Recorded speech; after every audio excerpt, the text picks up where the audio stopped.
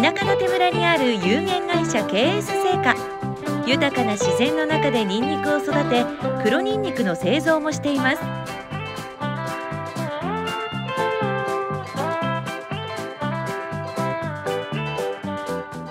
この会社に入るまでは農業をしたことないんですけども前職もまあ外で作業していましたんで、えーと、中の作業苦手なんで外の仕事を選んで探してたらこういう募集があって自分であこれならできるなと思ってこの会社に入社しました、結構楽しいですよ。植え付けから収穫であの最後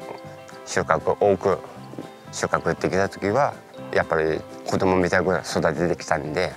あの嬉しいですよ、うん、天候に左右されて、まあ、風とかまた、うんと、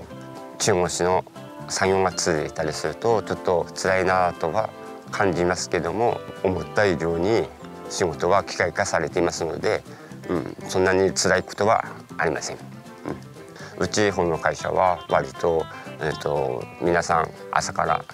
元気よく「おはようございます」「帰りもご苦労様です」っていう言葉を大切にして雰囲気はとてもよく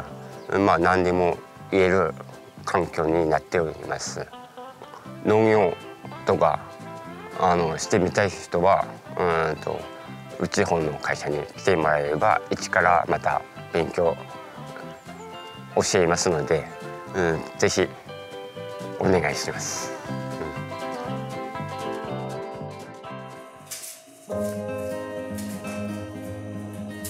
うんえーと、子どもが保育園に行くようになりまして、えー、まず、えーと、日曜祝日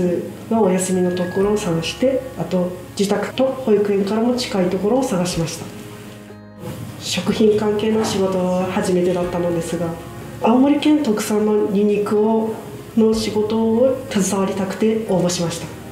計量の仕事をしているのですがまずその規定の数値に1回であった時にちょっと達成感を感じます、まあ、今までよりもうちょっとスピードアップして数が詰めれたらいいなと思います。津軽弁とかちょっと分かんないところあるんですけど先輩の方がとても気さくに接してくれます。楽しいです。とニンニクの見分け方まず口にするものなのでやっぱり傷んでたりするのが嫌なのでそれ取り除く見た目形を見るのが大変でした。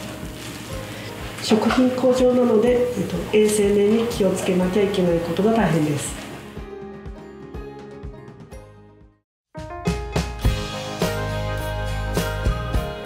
青森県の情勢を知るために、えー、新聞をよく見ている人で、えー、1週間の天気をよく把握している人が欲しいです。未経験者も現在募集しております。